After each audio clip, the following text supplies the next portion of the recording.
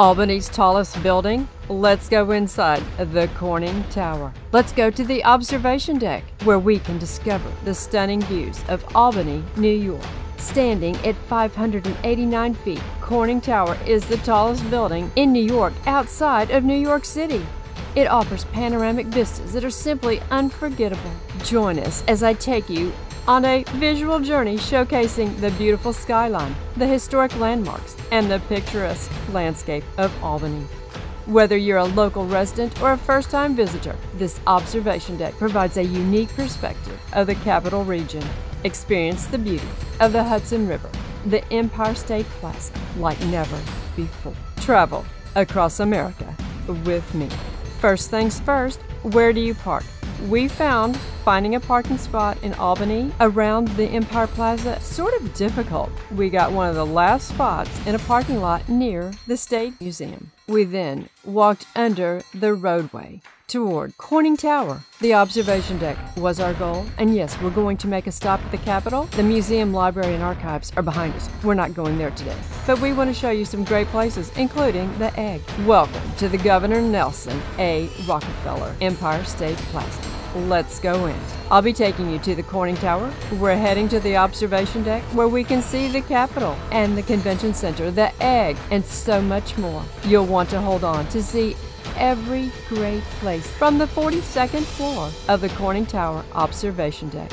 And the best part? The views are the best part, of course. As a bonus, it's free. Before you reach the food court, you'll make a right turn to go toward the observation deck. The elevator doors open automatically and take you directly to the 42nd floor observation deck. We were greeted by a security guard once we got off the elevator. We were fortunate there was no one else there on the observation deck. The glass windows provide spectacular views toward the Hudson, toward the Capitol, and to the south. Great information boards are provided in each area to give you information about the buildings that you are peering at. This is the New York State Capitol. This was one of the most impressive architectural masterpieces I have ever seen. Talk about stepping into the old world. What do you think? The sign says that the New York State Capitol was constructed from 1867 to 1899. The Capitol was officially declared complete by Governor Theodore Roosevelt, one of my favorites. Five different architects worked on the building, which cost $25 million. The legislative chambers and the million dollar staircase are among the highlights of the building. I won't be taking you on a tour of the building today in this video, but one will be coming up soon. Teddy declared the building complete. It wasn't really complete. Once he got in office, he was tired of the overspending and said, this thing is done. It is also quite incredible because, as they mentioned, there were five different architects, and you can see the different styles within the interior. But this is a spectacular building. And of course, the I Heart New York, the I Love New York sign is right out front. Capitol tours are available Monday through Friday and are free. The Robert Abrams Building for Law and Justice can also be seen adjacent to the Capitol. Simply stunning, don't you think? Uh, it looks like a castle. Wouldn't you love to live in a big old house like that? Have you subscribed yet? If not, please subscribe. And if you have, Thank you. The other unusual thing that we saw was the Egg Center for the Performing Arts. This striking spherical structure is known as the Egg Performing Arts Center with a 980 seat main theater with a wraparound lounge and a 460 seat studio theater. The Egg hosts dance, music theater, and other special events. And when walking around the plaza, I took quite a few pictures of the Egg. It's very photogenic, wouldn't you say? The Alfred E. Smith State Office Building is a 32 story Art Deco skyscraper and was built in 1928 and is named after Alfred Emanuel Smith, a four term governor of New York. Engraved into the building's facade are the names of all 62 New York State counties. So if you want to learn them, walk around the building. Out another window, let's see what we can discover. Several churches, a courthouse, and the Albany City Hall, another old world looking style architectural masterpiece. This view looks out over the Hudson River and some incredible historical structures. The Hudson River runs 306 miles between New York City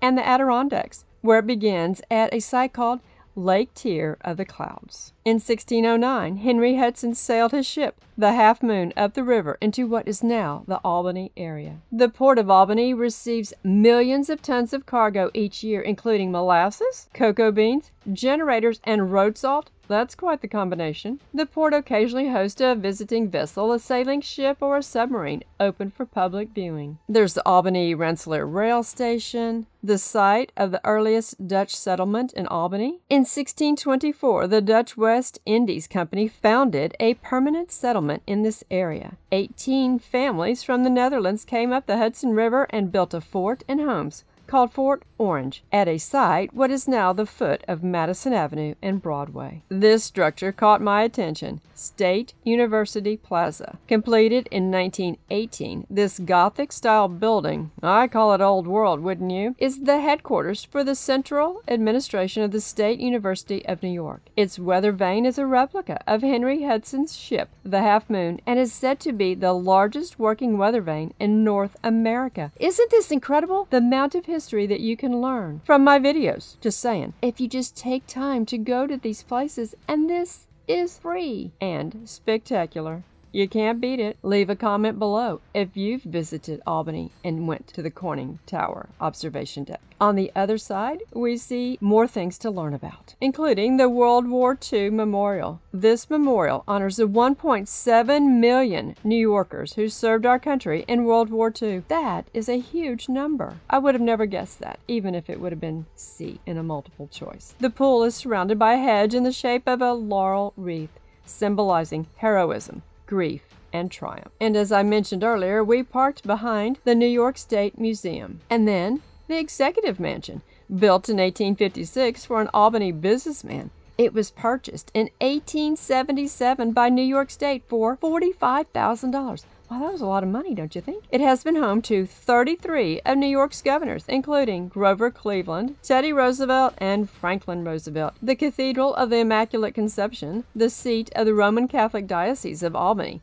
this is the largest church in Albany, built of dark brownstone in the Gothic style. I call it Old World style. The church was dedicated in 1852. Amazing. You can see its roof is in the shape of a cross. The plaza is a great place to walk around and take in the architecture the art, the fountain, and all of the scenery. The Corning Tower, a great destination in Albany. There's a few more things I want to tell you about. One is the State Education Building. It was built in 1912. This limestone building is inspired by Greek architecture. The building was the home of the State Museum for many years, and today it houses offices of the State Education Department. An impressive building.